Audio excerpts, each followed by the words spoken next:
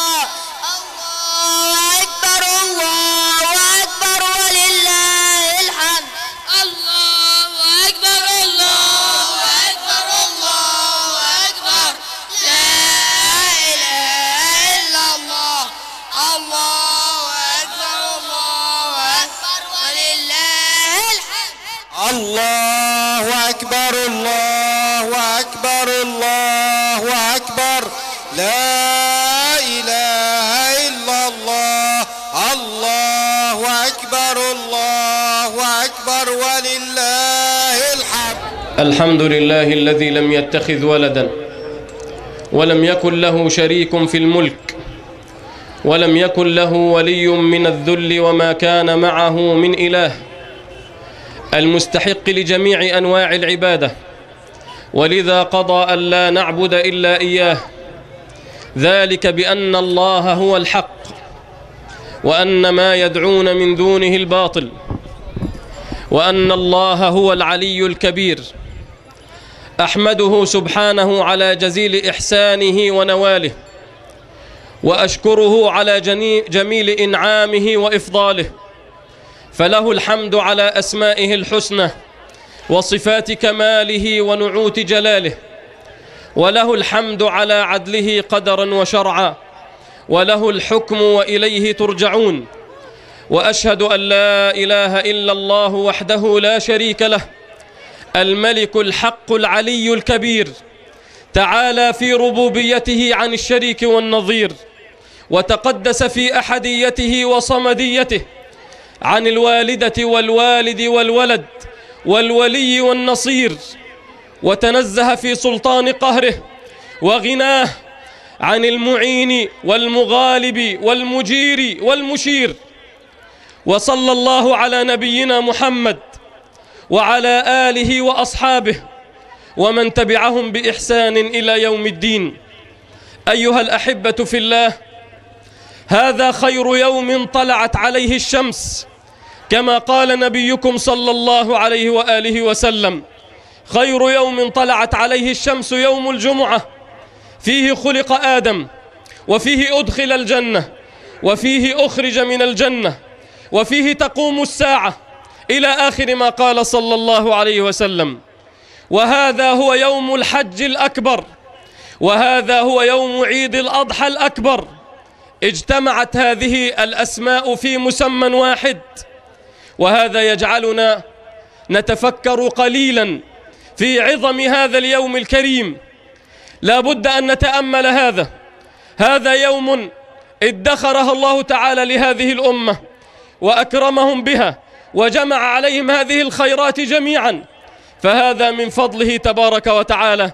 إن هذه الأيام المباركة لتضفي علينا أمورا ينبغي أن نحسها وتظلنا بظلال ليتنا أن نقف تحتها. هذه الظلال أيها الأحبة ينبغي أن تذكرنا شيئا. أما شعرتم أن التكبير الذي بدأتم به هو شعار العيد. أما شعرتم أن هذا التكبير كان هو نفس الشعار في العيد الذي سبقه؟ أما تأملتم أن التكبير هو شعار الحاج إلى بيت الله مع التلبية؟ ما هي المناسبة في ذلك؟ الله تبارك وتعالى يقول فيما يتعلق برمضان بعدما ذكر صيام رمضان قال ولتكملوا العدة ولتكبروا الله على ما هداكم وقال في شأن هذا العيد أيضا لتكبروا الله على ما هداكم وبشر المحسنين. ما علاقة التكبير بالعيد؟ ينبغي أن نراجع أمورا معينة في دقائق معدودة لعل الله تعالى أن ينفع بذلك. التكبير شيء عظيم. ليس التكبير هو ما تلوكه الألسنة وما يتكلم به الناس بلسانهم فحسب. ينبغي أن تتسع دائرة معلوماتنا التكبير ليس هو مجرد الكلام بل إن مجرد الكلام قد لا يكون له قيمة كبيرة. إذا لم يواطئه القلب لابد أن يتواطأ القلب مع اللسان حتى يفقه. التكبير هو تعبيرك عن تكبير الله تعالى. ولهذا جعله الله تعالى شعارا لهذه الأيام المباركة. بل جعله شعارا للعبادات الهامة. فإن الصلاة إنما تفتتح بالتكبير. إذا دخلت إلى الصلاة قلت الله أكبر. فما معنى هذا التكبير؟ ما معنى هذا التكبير أيها الأحبة؟ إنك تعلن إذعانك للكبير. للكبير المتعالي سبحانه الذي وصف نفسه بأنه الكبير وأن له الكبرياء. كما قال الله تعالى ماذا قال ربكم؟ قالوا الحق وهو العلي الكبير. وقال سبحانه وله الكبرياء في السماوات والأرض وهو العزيز الحكيم. هل أحسست أن قولك الله أكبر؟ يعني هذا الإذعان ويعني هذا المعنى. هل أحسست أنك تذعن الآن لكبريائه؟ هل أحسست أنك تذعن لعظمته؟ إنك تحتاج إلى أن تشاهد عدة مشاهد بقلبك. أول هذه المشاهد في هذا المشهد المهيب الكبير ينبغي أن تشاهد عظمة الله تبارك وتعالى وأن تشاهد كبره وكبرياءه فهو الذي وصف نفسه في كتابه وعلى سنة نبيه صلى الله عليه وسلم بذلك. قال النبي عليه الصلاة والسلام فيما روى أبو داود وأحمد قال صلى الله عليه وسلم مخبرا عن ربه في حديث قدسي الكبرياء ردائي والعظمة إزاري فمن نازعني ذلك قذفته في النار على إحدى الروايات. لا بد أن نفقه لماذا نبدأ هذه الخطبة؟ ونبدأ هذا المشعر ويبدأ الحجاج هناك. كل أفعالهم بهذا التكبير حتى إنهم سيرمون بعد قليل وربما سيرمون بعد قليل بل ربما رموا الآن. يرمون كل حصاة وكل جمرة وهم يكبرون شعارهم التكبير.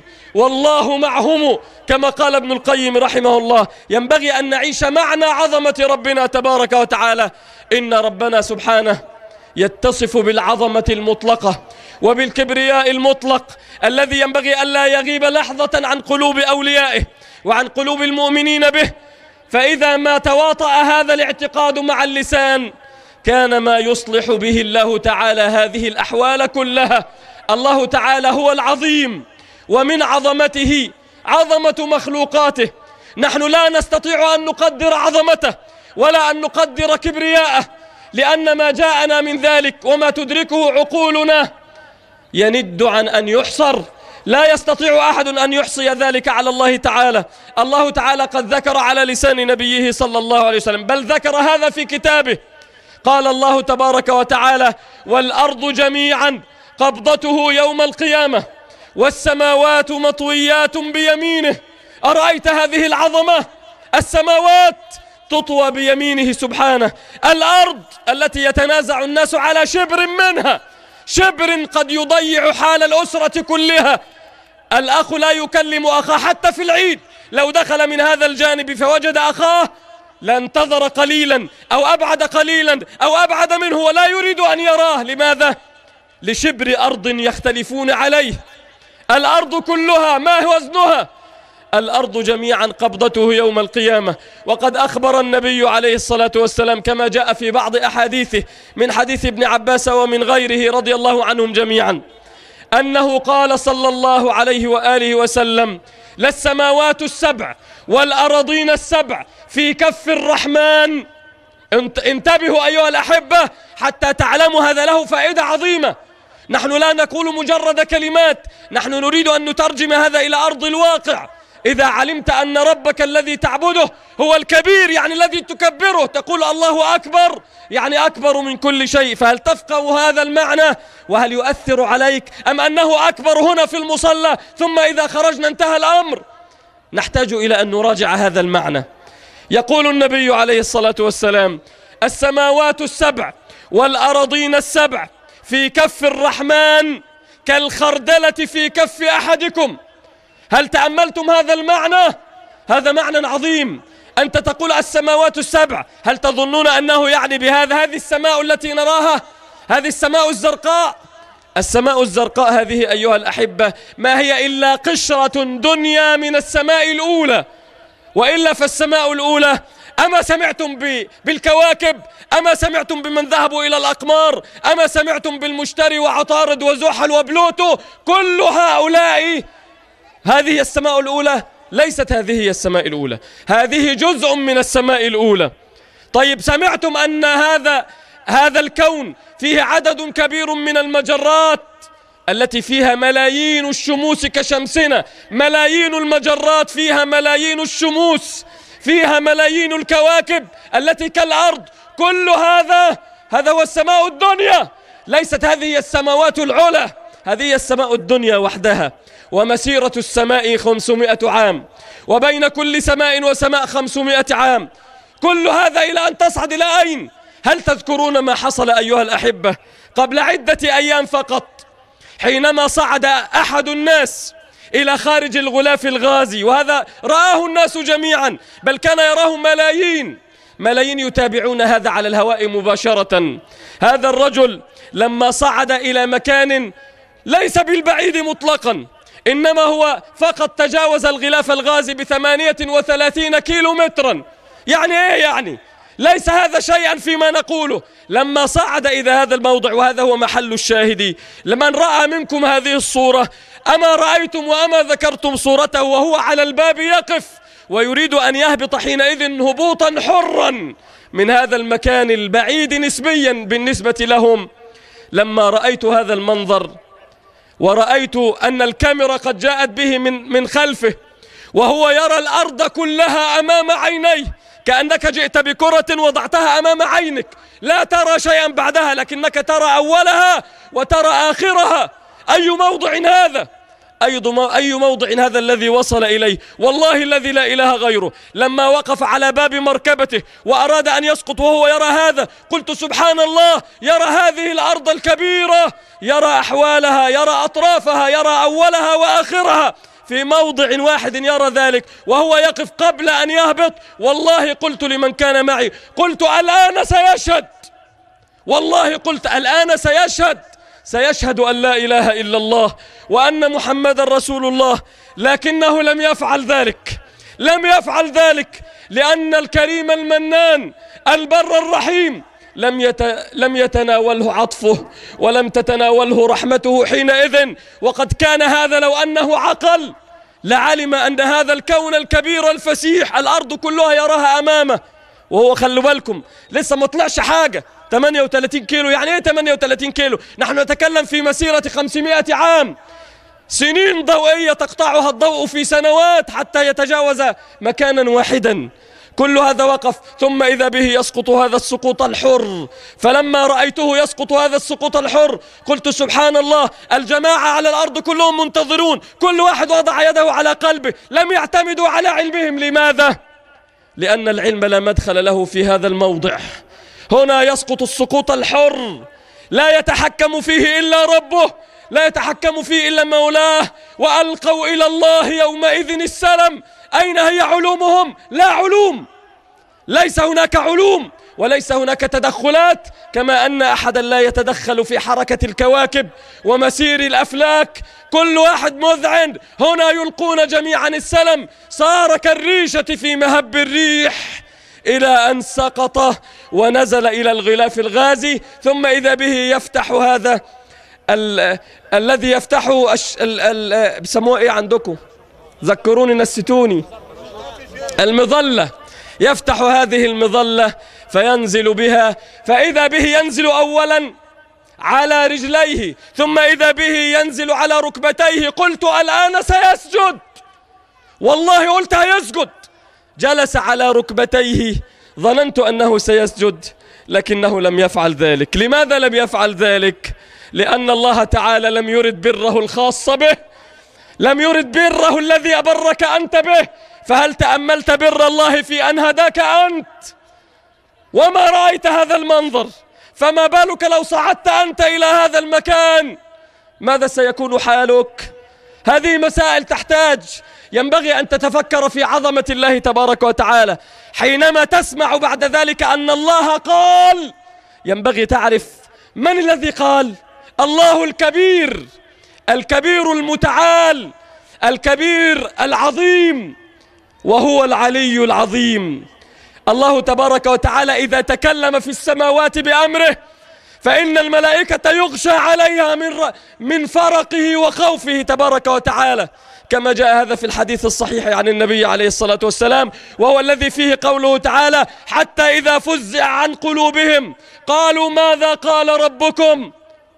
قالوا الحق. لا يعرفون ماذا قال الله فيسأل أهل السماء الآخرة أهل التي قبلها ماذا قال الله؟ أغشي عليهم من خشيته أغشي عليهم من عظمته لأنه الكبير انظر كيف ختم الآية. قالوا ماذا قال ربكم؟ قالوا الحق وهو العلي الكبير ولأنه الكبير ما استطاع أحد أن يقف. ما استطاع أحد أن يقف لعظمته تبارك وتعالى. ينبغي عليك أن تشاهد مشهد عظمته. إنه العظيم الذي خلق هذا الكون الفسيح. الذي نعيش نحن على جزء يسير لا يكاد يرى الذين ينازعون الله تعالى حقوقه. الذين لا يعجبهم كلام الله. ويتعاملون معه على أنه ككلام البشر. أين هم؟ ما هي أطوالهم؟ ليقم الواحد منهم يري الله نفسه. هل سيظهر هذا؟ لو كان ذاك الرجل الذي على على طرف الغلاف الغازي هل كان سيراه لو وقف هل سيظهر له طول؟ أين هو المعترض على ربه تبارك وتعالى؟ هل له طول؟ يرنا طوله. هيقف قدام ربنا. ما هو وزنه؟ هل هو يظهر على وجه الأرض أصلا؟ هو أنت باين. هم اللي مش عاجبهم كلام ربنا دول باينين. هم فين؟ هل يقفون الآن؟ الله تبارك وتعالى السماوات والأرض في كفه تبارك وتعالى كالخردلة. الله تعالى أخبر هذا في كتابه. قال الله تبارك وتعالى وسع كرسيه السماوات والأرض. قال ابن عباس رضي الله عنه السماوات السبع والأراضين السبع. في الكرسي كحلقة ملقاة بأرض فلا. عارفين الكلام ده يعني إيه؟ كلام ده خطير. واحد يقول لك أيوة صح أنا حاسس بيه. لكن خلي بالك الكلام ده سيستتبع أمورا كبيرة. مهم جدا أن نعلمها ومهم في العيد أن تعلمها ومهم هناك في الحج أن يعلمها. إذا غابت هذه المشاهد عن, ال... عن الذي يعيش على وجه الأرض والذي في الحج الآن ما فيش قضية أن الحج راح والحج رجع. حج راح والحج رجع هذه لا تنفع. لكن هل يحج؟ الناس جميعا يقولون من قول النبي عليه الصلاة والسلام من حج فلم يرفث ولم يفسق رجع من ذنوبه كيوم ولدته أمه. هذا كلام حق لكن كل من يحج حج. هل كل من يحج يكون حاجا؟ أي حج هذا؟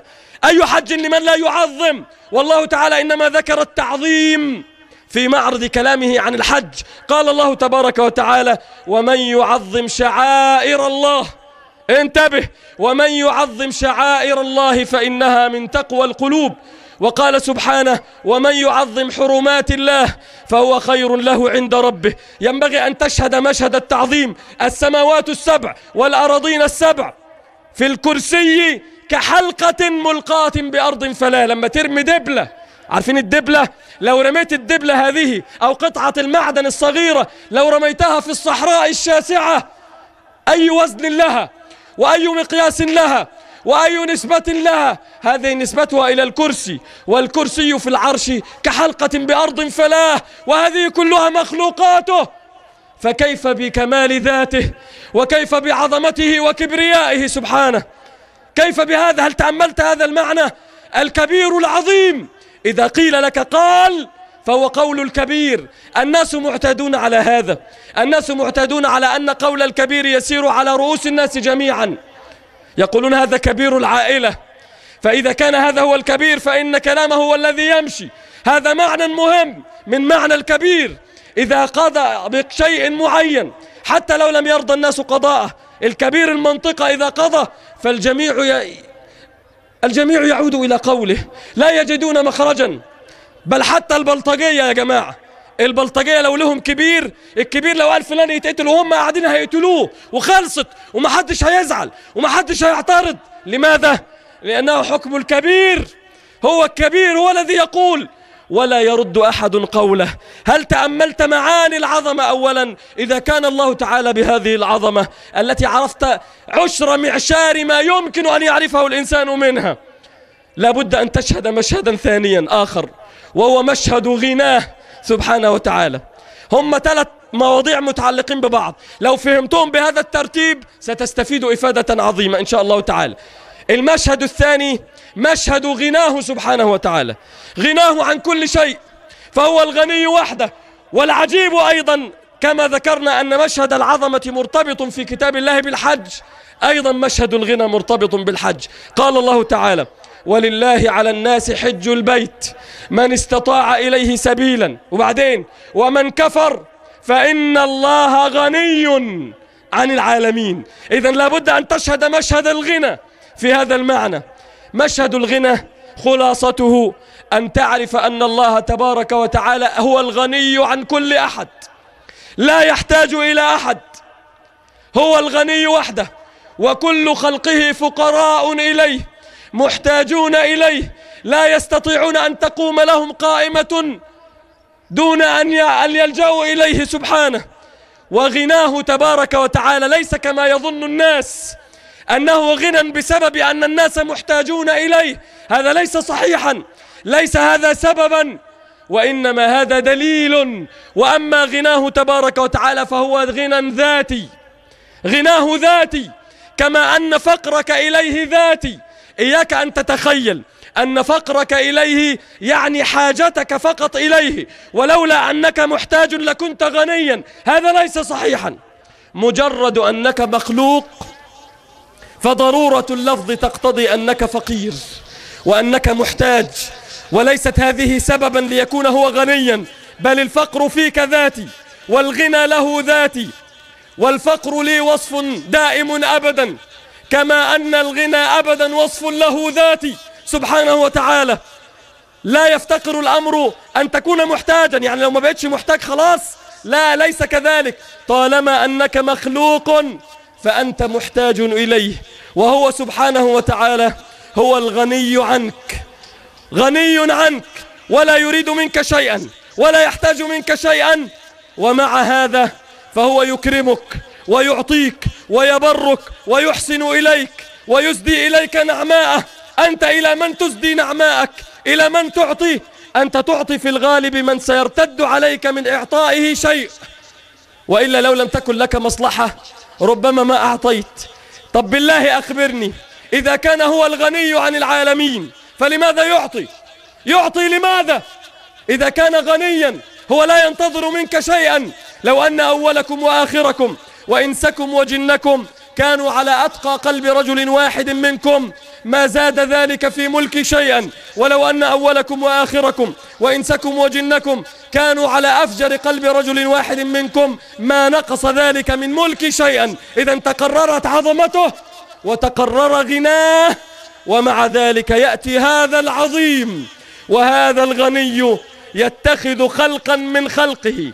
هم فقراء بالضرورة كما قال الله يا أيها الناس أنتم الفقراء إلى الله والله هو الغني الحميد يأتي إلى فقراء من خلقه فيتخذ منهم أولياء ويسجد لأبيهم ملائكته المقربين الذين هم لا يفترون عن ذكر الله تعالى وتسبيحه يسبحون الليل والنهار لا يفترون لا يعصون الله ما أمرهم ويفعلون ما يؤمرون فيأتي يقدمك أنت ويقدم أباك أنت. أنت المخلوق من ضعف. أنت الفقير بالضرورة إليه. فيجعلك أنت إذا كنت مؤمنا المؤمن المطلق مقدم عند الله حتى على الملائكة على القول الراجح عند أهل العلم. يقدمك ويسجد لأبيك ملائكته. الملائكة الذين لا يعصون. نعم يسجدهم لأبيك آدم. ثم لما عاداه إبليس طرده عن رحمته وأخرجه من جنته لأجل أبيك أنت. تذكر هذا المعنى فإنه مهم لما سيأتي. وعاد إبليس من أجل أبيك وكتب عداوته على الخلق جميعا. كل من أراد أن يكون طائعا لله لابد أن يكون عدوا لهذا الإبليس. كل ذلك لماذا؟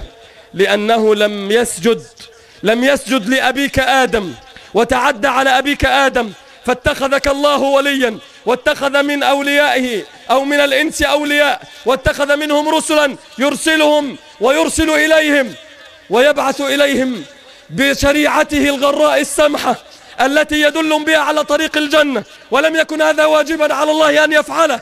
كان يمكن أن يترك الناس للنظر والاستدلال. كان يمكن أن يترك الناس. فلو تأمل أحدهم السماوات لآمن. لكن الله تعالى لم يتركهم لذلك. بل أرسل, الخ... بل أرسل رسله وقرب هذا النوع الإنساني الذي كرمه على جميع الخلق. ولقد كرمنا بني آدم وحملناهم في البر والبحر ورزقناهم من الطيبات وفضلناهم على كثير ممن خلقنا تفضيلا. كان المتقرر بعد هذا أنا آتي لك القصة من أولها لأن هذه طريقة القرآن. طريقة القرآن أن ترجعك إلى بداية الخلق. حتى تفهم ما يحصل حولك وحتى لا تفصل واقعك عن تاريخك القديم. كان المتقرر أن يطيع أن يطيع الخلق الذين كرمهم الله أن يطيعوا أوامر الكبير العظيم. فإنه لو جاءهم أمر ممن هو أعلى منهم رتبة لعظم له وقال سمعا وطاعة لأنه رتبة أعلى منه وإن كان هو قد يكون خيرا منه وإن كان من نفس جنسه. فإذا كان الأمر من الملك الحق الذي عليه الذي عليه توكل العباد جميعا والذي تصمد إليه الخلائق في قضاء حوائجها ولا يقضي حوائجها إلا هو كان المتقرر أن يطيع الناس أوامره. إذا قيل هذا قول الله قالوا سمعا وطاعة يا رب وهل لنا مدخل وهل لنا كلام مع كلام الله؟ ده كان المتقرر فما الذي حدث؟ دار العدو الذي عاداه الله من أجلك دار عليك وأتاك من باب آخر وأفسد علاقتك بسيدك. أكبر مشكلة أن الناس لا يعيشون حقيقة هامة وهي أنهم عباد وأنهم مملوكون لسيدهم. وإلا لو فهموا هذا المعنى لتغيرت أحوالهم. السيد كان في العهد القديم له على العبد حقوق. إذا جاء بالعبد اشتراه بحر ماله ثم علمه صنعه وأرسله ليعمل لا يأنف العبد أبدا أن يعمل طوال النهار. ثم يأتي بعد ذلك لسيده بالمال الذي عمل به كله. يأتيه بكل المال ولا تتطلع نفسه أبدا إلى أن يأخذ شيئا من هذا المال. ليه؟ هو تربى على كده وهو يرضع من ثدي أمه. أفهمته أننا عبيد وأن هؤلاء أسيادنا وأن شغلتنا في الحياة أن نطيع أوامرهم فالرجل طلع على هذا وليس عنده مشكلة. لما دار العدو على ابن آدم ودخل له استطاع أن يأخذه وأن يجعله يعصي أوامر الله الملك الحق الذي كان ينبغي أن تطاع أوامره. فلما أطاع لما أطاع شيطانه وجاء إلى الطريق الذي كان ينبغي أن يعاديه حينئذ استجلب غضب الله أو غضب سيده وسخطه مع أن سيده لما خلقه خلقه من أجل أن يرحمه فاستجلب شيئا على خلاف ما هو أهله. استجلب غضبه وأهله والرحمة والمغفرة. افهموا هذا المعنى فإنه دقيق. هذا معنى مهم. إذا أردت أن تفهم هذا المعنى فافهم هذه الجزئية التي يعرفها الناس جميعا. يقولون هرب رجل من سيده فلما كان بنواحي المدينة رأى بابا يفتح وطفلا يصرخ. باب بتفتح وطفل يصرخ وامرأة خلف هذا الطفل هي أمه تطرده وهو يبكي وخرج مغاضبا فأغلقت الباب عليه. لما أغلقت الباب قالت لا أريدك بعد ذلك. فلما خرجت ولما خرج الولد وأغلق الباب مضى الولد بعيدا ثم إنه تأمل. قال أين سأذهب؟ وأنا طفل صغير إلى أي مكان سأذهب؟ هل يمكنني أن أذهب إلى مكان يحافظ علي فيه أحد؟ من الذي سيكلأني برعايته؟ لو رحت هروح منها فين؟ ولا أرجع لها أحسن. هذا معنى مهم. فرجع هذا بعد هنيهة رجع فدق الباب ففتحت له أمه. لا تستغربوا من هذا المثال ولا يردن على خاطر أحدكم شيء سأوضح هذا. ثم إنه دق الباب ففتحت له. قالت له إلى أين كنت تذهب إلى أين كنت تذهب؟ هل هناك مكان يؤويك؟ لماذا حملتني على أن أفعل بك على خلاف ما جبلت عليه من الرحمة بك؟ زي ما تمسك ابنك الصغير تقول له يا ابني ليه بتخليني أضربك؟ يا ابني أنا مش عاوز أضربك. فأنت بتقول له ليه بتخليني أضربك؟ أنت كاره لهذا. فكان هذا الولد إما أن يعود وإما أن لا يعود فاختار أن يعود. هكذا العبد. إذا استغربت من المثال فانظر إلى قول هذه الأم لماذا حملتني على خلاف ما جبلت عليه من رحمتك؟ وانظر وتأمل قول النبي صلى الله عليه وسلم لما رأى امرأة تأخذ بولدها الذي افتقدته في الأسر قال لله أشد رحمة بهذه لله أشد رحمة بكم من هذه الأم بولدها وأين رحمة الوالدة؟ من رحمة أرحم الراحمين. العبد الذي أبق ينبغي أن تعيش وهذا آخر المشاهد ينبغي أن تعيش مشهد العبد الذي أبق. سيده أمره فلم يأتمر. هرب من سيده. فضل يجري هربان. يريد أن يذهب إلى مكان لا يقدر عليه فيه سيده. وذهب إلى أعداء سيده. ومكث عندهم. ثم إذا هو به يتأمل يقول إلى أين سأذهب؟ إلى أي مكان سأذهب؟ سيدي المآل إليه. ولا غنى لي عنه. سأرجع إليه حتما. إذا لم يكن الآن سأرجع فيما بعد. وإن لم أرجع أنا سأرجع رغما عني وإذا أرجعوني رغما عني سيقطعونني هربا. لماذا لا أرجع إليه الآن؟ ثم إذا به يتذكر بره وإحسانه ولطفه به فيقول لا أنا سأرجع إليه. أنا عارف صفاته. أنا عارف سيدي أول ما أدخل عليه. أنا عارف أنه هيسامحني. أنا عارف أنه سيرجع عن عقوبتي. لابد أن تعيش مشهد العبد الآبق. إذا لم تسافر إلى الحج وأنت عبد آبق لن تحج لن تحج الحج المراد. إذا لم تكن عبدا آبقا العبد الآبق شأنه. إذا سمع أن سيده قال سأسمح لكل عبيد أن يزوروني في بيتي ومن أتاني في بيتي فإنني أعفو عنه وأسامحه فيما بدر منه. العبد اللي خايف على نفسه من تراجع راجع. ما هو لو في طريق روح. إذا تقدر تروح في أي مكان روح. لكن ما عندكش طريق ستعود إليه حتما. إذا لم تعد عند هذا السن ستعود بطريقة أخرى. المهم إنك ميت وإنهم ميتون. لا بد أنك تعود. إذا لأرجع الآن. اللي يخليني أتأخر وأنا أعرف من بره سأعود. أيها الأحبة هذا هو الفرق بين العبد المطيع والعبد الآبق. ليس هناك فرق. إياك أن تظن أن الفرق أن هذا يصلي قيام الليل والآخر لا يصلي. هذه مراتب أخرى. لكن الفرق الحقيقي والمحك الرئيس أنك تقول يا رب أنا عرفت غلطتي وراجع والتاني قال لا أنا هروح فين؟ ده أنا لو رجعت سأقطع فلن أعود. طب لن أتعود إلى متى؟ لحد إمتى مش هترجع؟ ما أنت لازم راجع. إذا كنت لابد راجعا فلترجع الآن قبل أن ترجعك الملائكة يضربون الوجوه والأدبار. إذا كنت سترجع ارجع من الآن. إذا سافرت إلى الحج بهذه الطريقة ستحس أن الحج له طعم آخر. ستحس أن الحج موضوع آخر. أن الذي أنت مقصر في حقه وأنت مستأمن على ماله والمال له وأنت تضيعه يمينا وشمالا وتحابي به الناس تحابي يمين وشمال عمال تصرف بتدي بس للي هيعود عليك منه مصلحة. هذه طريقتك في التصرف في مال الله الذي آتاك. فإذا ذهبت وعلمت بفضل الملك سبحانه وتعالى وفتح لك أبوابه هنا سيأتيك باب الانقياد. هنا سيأتيك باب انقياد ستنقاد إليه. تقول أفعل ما يريد بس المهم يغفر لي. ليه أنا بقول كده؟ لأن كده كده خلاص ده أنا راجع راجع.